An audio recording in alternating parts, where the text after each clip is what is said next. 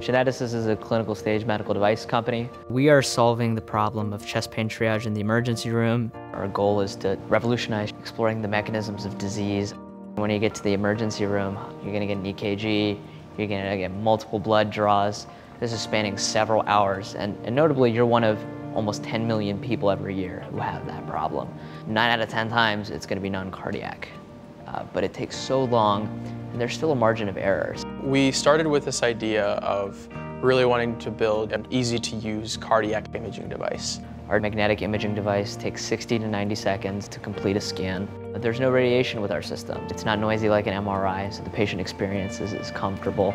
Our data science methods are very much hinging on neural networks and, and deep learning. So GPU is pretty essential for us to meet the timeframes we want to meet and make sure that we're accelerating our process. Medicine and, and technology are converging around the use of AI to better analyze images, better analyze large databases. Ultimately, this is something we see being used not just in the heart, but in the brain, in the gut, and maybe not even just in the ER. Watching what they've produced so far and the approach they're taking, I have good confidence that what they're going to do with the application of AI will make a positive difference in the kind of information they yield to physicians, and that'll make a very positive difference for patients at the end of the day. The thing that ultimately gets me out of bed every day is the fact that this system, once we prove it, is going to actually save lives.